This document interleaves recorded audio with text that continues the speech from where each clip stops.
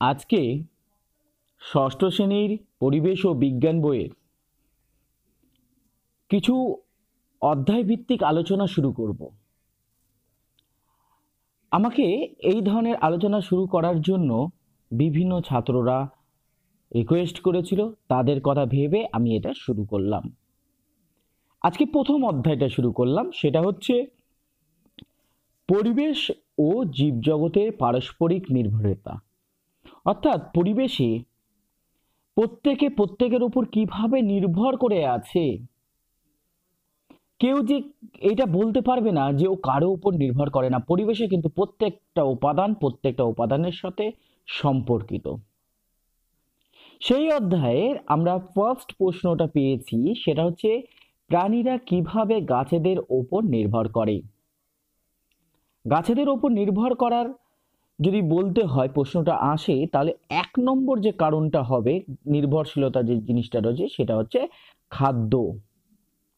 খাদ্যের জন্য কি হয়? প্রাণীরা উদ্ভিদের ওপর নির্ভর করে। তবে এই কথাটাও সত্যি যে উদ্ভিদেরা কিন্তু নিজেরা খাদ্য তৈরি করতে পারে না। ওরাও কিন্তু খাদ্য তৈরির জন্য প্রাণীদের ওপর নির্ভর করে। কীভাবে নির্ভর করে? প্রাণীরা যে কার্বন ডাই অক্সাইড ছাড়ে, সিও টু যেটা ছাড়ে, সেই কার্বন ডাই অক্সাইড উদ্ভিদেরা গ্রহণ করে এবং উদ্ভিদেরা সেই কার্বন ডাই অক্সাইডের সহযোগিতায় সালোক সংশ্লেষ প্রক্রিয়ার মাধ্যমে গ্লুকোজ জাতীয় খাবার তৈরি করে। এই গ্লুকোজ জাতীয় খাবার পৃথিবীতে প্রাণ ধারণের একটা অন্যতম উপাদান বলা যেতে পারে। দুই নম্বর হচ্ছে তন্তু বলা বলতে পারো? তন্তুর জন্য, তন্তু মানে সুতো। সুতোর জন্য আমরা উদ্ভিদের উপর নির্ভর করতে পারি। যেমন আমরা পাট গাছের যে তন্তু, সেটাকে বিভিন্ন চটের তলি শৌখিন জিনিসপত্র পাপোশ, এগুলো তৈরি করতে আমরা পারি। নারকেলের তন্তু যেটা থাকে, সেই নারকেলের ছিপড়ে যাকে আমরা বলি, সেটা দিয়ে আমরা পাপোশ তৈরি করতে পারি। তো গদি তৈরি করতে পারি। এছাড়া যে সিল্কের শাড়ি বলা হয়, সেই সিল্ক, সিল্কটা কীভাবে তৈরি হয়? সিল্ক তৈরি হয় হচ্ছে রেশম কীট থাকে। সেই রেশম কীট কি করে? রেশম কীট হচ্ছে তুত গাছের পাতা খায় এবং পাতা খাওয়ার সময় তাদের মুখ থেকে এক ধরনের লালা বেরোয় যে লালাগুলো কি হয়? না, একটা বাতাসের সংস্পর্শে এসে শক্ত আবরণ তৈরি হয়, কোকুন তৈরি হয়। সেই কোকুনকে গরম জলের মধ্যে ডুবিয়ে সেখান থেকে এক ধরনের সুতো বের করা হয়, তার নাম হচ্ছে রেশম। তাহলে বিভিন্ন ক্ষেত্রে আমরা তন্তুর জন্য নির্ভর করে। তিন নম্বর আমরা বলতে পারি, বিভিন্ন ধরনের ঔষধ ঔষধের জন্য কিন্তু নির্ভর করতে পারি। যেমন এক নম্বর বলতে পারো যে ম্যালেরিয়ার যে ওষুধ সেটা কীভাবে সিঙ্কোনা গাছের ছাল থেকে পাওয়া যায়? কুইনাইন যাকে আমরা বলি। তাহলে আমরা খাদ্য, তন্তু ওষুধ এছাড়া বাসস্থান হ্যাঁ এবং অন্যান্য অনেক ক্ষেত্রে আমরা কিন্তু উদ্ভিদের ওপর বা গাছেদের ওপর নির্ভর করে থাকি। দুই নম্বর প্রশ্ন কি বলেছে দেখো? মূল কাণ্ড, পাতা, ফুল, ফল, বীজ, মানুষ খায় উদ্ভিদের নাম। দেখো, মূল খায়, মূল থেকেই চলে এসছে যে কথাটা, সেটা হচ্ছে মূলা, মূলো যাকে আমরা বলছি। কাণ্ড খাই কোন গাছের কাণ্ড আমরা খাই? কচু গাছের কাণ্ড আমরা খেতে পারি। আলুর কিন্তু আমরা যেটা খাই, সেই আলু কিন্তু এই একটা মৃদগত কাণ্ড, ওটাও কিন্তু কাণ্ড বলতে পারো। পাতা খাই কার? সজনে গাছের পাতা খাই বা বিভিন্ন শাক হতে পারে, আমি এক একটা করে উদাহরণ দিচ্ছি। ফুল খাই কি? আমরা বক ফুল খেয়ে খাই। বা আমরা মোচা যেটাকে বলি, সেটাও কিন্তু একটা ফুল। ফল খাই, খাদ্য হিসাবে গ্রহণ করবে যে কোনো কিছু হতে পারে। যেমন এখন আমের সিজন আম আমরা খেতে খাই। বীজ বীজ খাই কার? বাদাম যেটা খাই আমরা, সেটা কিন্তু এক প্রকার বীজ। তাহলে আমরা মূল খাই হচ্ছে মূলর কাণ্ড। এগুলো এক একটা করে উদাহরণ দিয়েছি, তোমরা নিজস্ব বুদ্ধি খাটিয়ে এই উত্তরগুলো আরও বাড়াতে পারো। তিন নম্বর প্রশ্ন দেখো কি বলেছে? যে জামা কাপড়ের জন্য গাছের উপর প্রাণীদের নির্ভরশীলতা আলোচনা করো। আমি এক নম্বর যখন আলোচনা করেছিলাম যে তন্তু, সেই ক্ষেত্রে আমি এর মানে ওই ধরনেরই উত্তরটা হবে। যেমন এক নম্বর হতে পারে যে তন্তু কোথা থেকে পাওয়া যায়? তন্তু পাওয়া যায় তুলা থেকে। এই তুলো কোথা থেকে পাওয়া যায়? কার্পাস হতে পারে। কার্পাস তুলো আমরা জানি। শিমুল তুলো হতে পারে। সেই তুলোগুলো কিন্তু গাছ থেকে পাওয়া যায় এবং সেই তুলো দিয়েই সুতো তৈরি করা হয়। দুই নম্বর আবার কীভাবে পেতে পারি? তুলো থেকে যেমন হয় রেশম। রেশমটা আমি আলোচনা করেছি যে রেশম কীট থেকে যেটা পাওয়া যায় সেটা হচ্ছে রেশম বা সিল্ক। এগুলো কিন্তু আমাদের জামা কাপড় প্রস্তুতির জন্য ব্যবহার করা হয়ে থাকে। চার নম্বর প্রশ্নটা দেখো, কি বলেছে? ম্যালেরিয়ার ওষুধের নাম। ম্যালেরিয়ার ওষুধের নাম হচ্ছে কুইনাইন। কোথা থেকে পাওয়া যায়? সিঙ্কোনা গাছ থেকে পাওয়া যায়। এটাও আমি এক নম্বরে আলোচনা করেছি। পাঁচ নম্বর প্রশ্ন দেখো, কি বলেছে? পরাগ মিলন কি? কীভাবে প্রাণীরা সাহায্য করে? দেখো, পরাগ মিলন হচ্ছে যে পুরুষ মানে স্তবক যেটা, পুং স্তবক, সেখান থেকে যে পরাগ রেণু তৈরি হয়, সেই পরাগ রেণুগুলো কি হয়? ওই ফুল বা অন্য কোনো ফুলের একই জাতীয়, অন্য কোনো ফুলের গর্ভমুণ্ডে পড়ে পড়ার যে পদ্ধতি, তাকে বলা হয়ে থাকে পরাগ মিলন। তাহলে কি হচ্ছে? রেণু, পরাগধানী থেকে পুং স্তবক থেকে পরাগধানী থেকে রেণু হয়, তৈরি হয় রেণু। সেই রেণুটা কি হয়ে থাকে? গর্ভকেশর চক্র বা স্ত্রী স্তবকের গর্ভমুণ্ডে স্থানান্তরিত হয়। গর্ভ মুন্ডে স্থানান্তরিত হয়। এই যে পদ্ধতি, এই পদ্ধতিকে বলা হয়ে থাকে পরাগ মিলন। কীভাবে প্রাণীরা সাহায্য করে? দেখো, কোনো প্রাণী যখন কি হয়? যে খাদ্য হিসাবে অনেক সময় কি হয় যে প্রজাপতি মধু সংগ্রহের জন্য, নিজের খাদ্যের জন্য মধু সংগ্রহের জন্য কি হয়? ফুলের উপর বসে। তখন ওই ফুলের যে রেণু, সেই রেণুটা তার মুখে বা তার পায়ে লেগে যায়। সে যখন দ্বিতীয় কোনো ফুলের মধ্যে গিয়ে বসে, তখন কিন্তু সেই ফুলে ওই রেণুগুলো পড়ে গিয়ে মিলন ঘটে। এটা একরকমভাবে হতে পারে পতঙ্গের মাধ্যমে। দুই বড় বড় প্রাণীর পাখির মাধ্যমে হতে পারে। যেমন তোমার হচ্ছে বাদুড় বা এই ধরনের প্রাণী, যারা কি হয়, বা কাকও হতে পারে, কি হয়, গাছ থেকে ফলকে নিয়ে খায়। এবং সেই পাখি যখন অন্য কোনো গাছে যায় এবং যখন সে মল ত্যাগ করে, সে বীজগুলো হজম হয় না। সেই বীজগুলো কি হয়? সেই মলের মাধ্যমে বেরিয়ে আসে।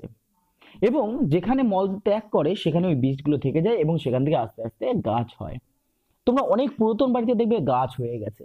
বা একটা গাছের উপর আরেকটা গাছ হয়েছে। এটা কিন্তু কারণ হচ্ছে ওই পাখিদের জন্য। তিন নম্বর বলা যেতে পারে, তিন নম্বর হতে পারে তোমার হচ্ছে কুকুর বা এই ধরনের গৃহপালিত প্রাণীগুলো যখন কোনো জঙ্গলে যায়, সেই জঙ্গল থেকে কি হয়? জঙ্গলে গিয়ে সেখানে গায়ে কি হয়? তাদের হচ্ছে রেণুগুলো লেগে যায়, কোথাও এসে ঝাড়ে, তখন সেটা কি হয়? বীজগুলো লেগে যায়, সেই বীজগুলো কি হয়? যখন ঝাড়ে কিনা, তখন ওটা ছড়িয়ে পড়ে। এইভাবে বংশবিস্তার কি হচ্ছে? দূর দূরান্তে ছড়িয়ে পড়ে। তাহলে পরাগ মিলন কার কার মাধ্যমে হতে পারে? পতঙ্গের মাধ্যমে পরাগ মিলন হতে পারে। আবার আরেকভাবে হতে পারে যেটা তোমাদের বইয়ে নেই, সেটা হচ্ছে বায়ুবাহিত হতে পারে। বায়ুবাহিত কেমন হয়? অনেক সময় হালকা হালকা যে সমস্ত পরাগ মিলন হয় মানে রেণু থাকে, সেই রেণুগুলোকে বাতাসের প্রভাবে এক জায়গা থেকে অন্য জায়গায় বাহিত হয়ে যেতে পারে। ঠিক আছে? এইবারে দেখো ছয় নম্বর প্রশ্ন কি বলেছে?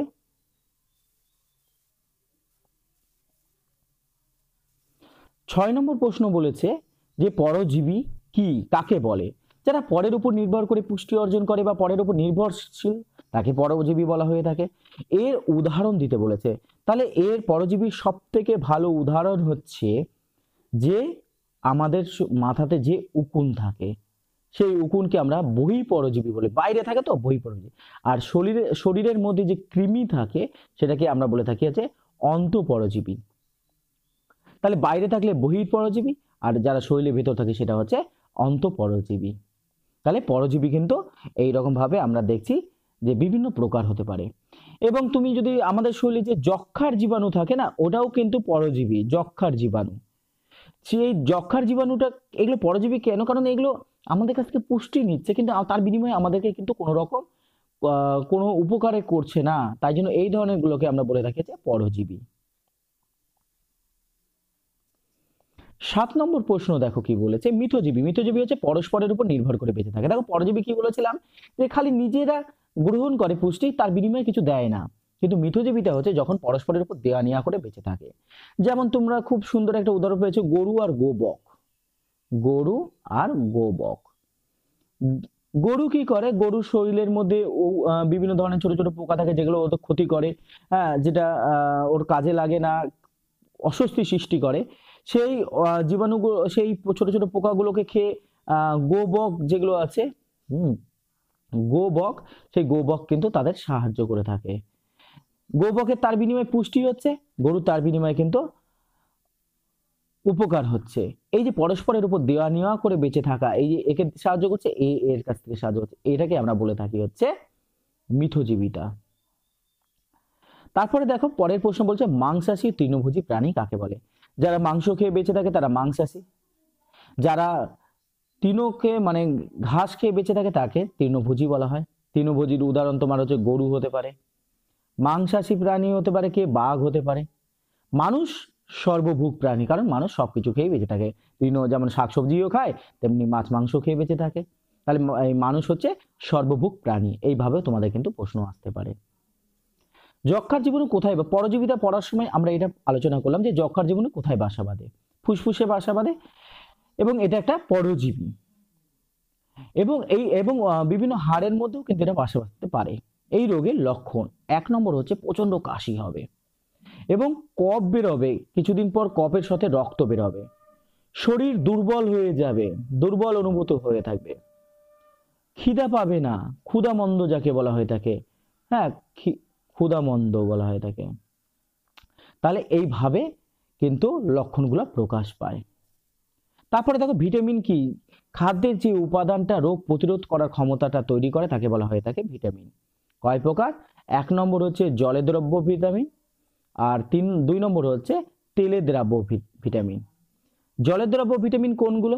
জলের দ্রব্য ভিটামিন হচ্ছে এ বি কমপ্লেক্স বি আর সি হচ্ছে জলের দ্রব্য। তেলের মধ্যে দ্রব্য কে কে?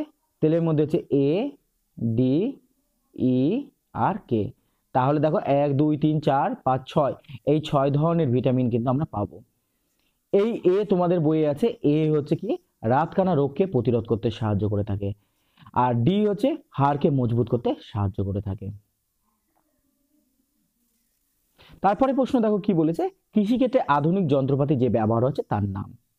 কৃষিক্ষেত্রে আধুনিক যন্ত্রপাতি যেমন হচ্ছে ট্রাক্টর হতে পারে, ট্রাক্টর হতে পারে, আবার পাওয়ার টেলার হতে পারে। ট্রাক্টর পাওয়ার টেলার এছাড়া বিভিন্ন ধরনের পাম্প মেশিন হতে পারে, জল দেওয়ার জন্য ব্যবহার হয়ে থাকে। তারপর দেখো পরজীবী, অনুজীবী কাকে বলে? উদাহরণ। অনুজীবী কাকে বলা হয়? যে ছোট ছোট জীব যেগুলো চোখে দেখা যায় না, যেগুলোকে মাইক্রোস্কোপে দেখা হয়, সেগুলো হচ্ছে অণুজীবী এর এক নম্বর উদাহরণ যদি আমরা দিই, সেটা হচ্ছে ল্যাক্টোব্যাসিলাস ল্যাক্টোব্যাসিলাস এই জন্য ইম্পর্টেন্ট ল্যাক্টোব্যাসিলাস এই ল্যাক্টোব্যাসিলাস একটা একটা অণুজীবী, খালি চোখে দেখা যায় না। এবং এটা কি হয়? দুধ থেকে দই তৈরি করতে সাহায্য করে থাকে। তারপরে প্রশ্ন, দেখো কি বলছে? একটি অ্যান্টিবায়োটিকের নাম, যেমন স্টেপটোমাইসিন স্টেপটোমাইসিন হচ্ছে একটা অ্যান্টিবায়োটিক। কোথায় থেকে পাওয়া যায়? স্টেপটোমাইসিস থেকে পাওয়া যায়। আশা করি তোমরা এই অধ্যায়ের প্রশ্নগুলো বুঝতে পেরেছ এবং উত্তরগুলো বুঝতে পেরেছ। তোমাদের যদি কোনো সমস্যা থাকে, কোনো অধ্যায় যদি জানতে তোমরা চাও, তাহলে আমাকে কমেন্ট বক্সে অবশ্যই জানাবে এবং ভিডিওগুলো বন্ধুদেরকে শেয়ার করে দিবে। ধন্যবাদ। Subscribe my channel pkb math